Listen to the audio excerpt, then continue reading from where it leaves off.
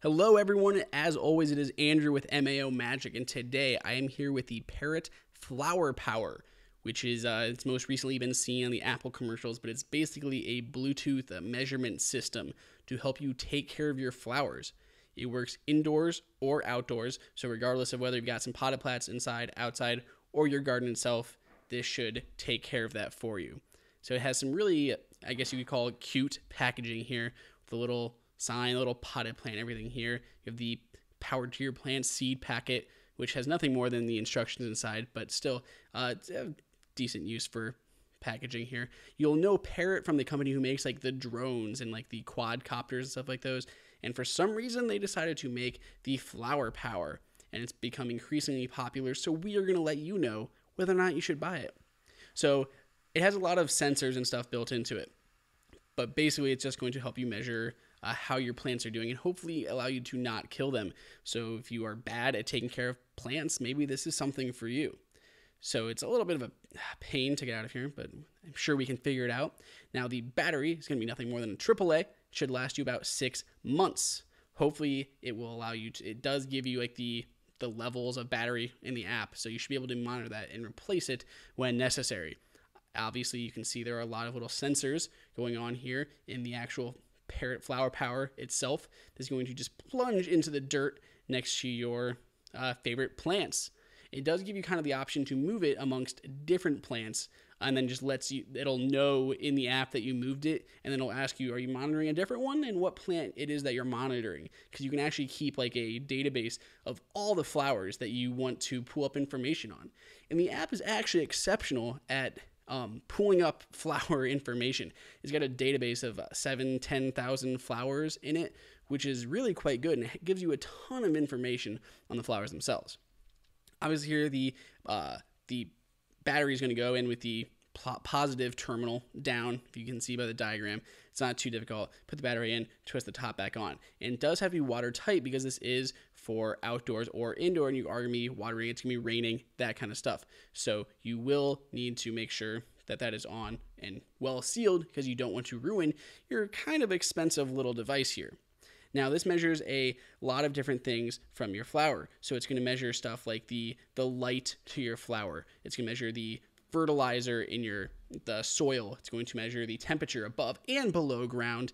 It's going to measure uh, how much you've watered your flower. And it's going to give you a lot of notifications about that type of stuff. So we're going to go ahead and download the app. We're going to open it and we're going to allow it to give me notifications so I know when to water my my flowers. So you're going to sign up or sign in. Is your uh, you know first flower power here. We're going to go ahead and sign up. We're going to make sure we can give it access to our location for for some reason. Uh, we're going to go ahead and go through all of the rest of the steps here. We put it into the plant. You're going to put the battery in, turn it on. It's going to blink green, and then you're going to pair it with your phone. So the first time I did this, I got a nice little notification that it has an update available. So we're going to go ahead and uh, look some of the basic stuff here, but we are going to do the update. So we're going to say this is this is going to be an outdoor plant. We're going to have this out on the patio. We're going to choose a nickname for the plant. So I'm going to I'm going to put it in basil. Cooking a lot, I have a lot of herbs. So we're going to go ahead and choose basil, and it does give you not just one time, but like 20 different kinds of basil. And I do have a sweet basil plant, so that's what we're going to choose. Gives you a ton of information, photos, uh, descriptions, how much water, how much sunlight, and all the other information that's going to be very relevant for you taking care of this plant. It actually, actually a lot more than I thought it would. I thought it'd be very kind of basic, but this is very specific data for the plants. Uh, I, I, I really didn't look through any of this though and I am not particularly good with keeping plants alive. So we're to really see how this does. And it's in a pot and it's outdoors, all set. We put it on the location so I know where the plant is. We're gonna go ahead and do that update super quick here. And this actually did fail for me the first time, but uh, it wasn't a big deal. I just did it a second time, like quit the app, opened it back up, and it was good to go. It did take a few minutes. It seemed like the update was fairly large, but who knows how this thing was sitting along on a shelf before I bought it. So we're gonna go ahead and go through the update process and we are all set. So once you're done, um, that's about it. There's not a lot to set up and it's not very complicated. Purely putting the battery in allows it to pair. Uh, it does have live mode, so you can see exactly what's happening to your flower right now. I'm not sure why that is relevant. Um, particularly with stuff like water. Like, why do I need to know exactly what it is? You can see on like the the historical charts how that's actually holding up. Now I go ahead and stick this to my pot here, and it should be able to get the sunlight and everything else. Now this does do really well. So it has the uh, it uses BLE, it's waterproof, six month battery life, indoor or outdoor. So it's going to measure your soil. So it's going to measure the uh, dielectric permittivity, which is going to tell you how much water is in your soil.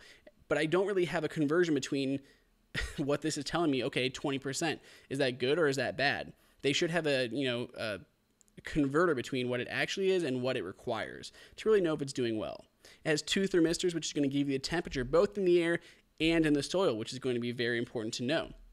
It's going to measure the sunlight and the electric conductivity, which is going to tell you how many ions are in the uh, soil, which means how much fertilizer you're going to need. Occasionally, it was kind of slow at connecting with BLE, so I wasn't actually getting real time updates on whether or not my flowers were dead or not. But overall, it did well, and my flowers are still alive. So, you guys make sure you check it out. If you have questions, throw them up in the comments.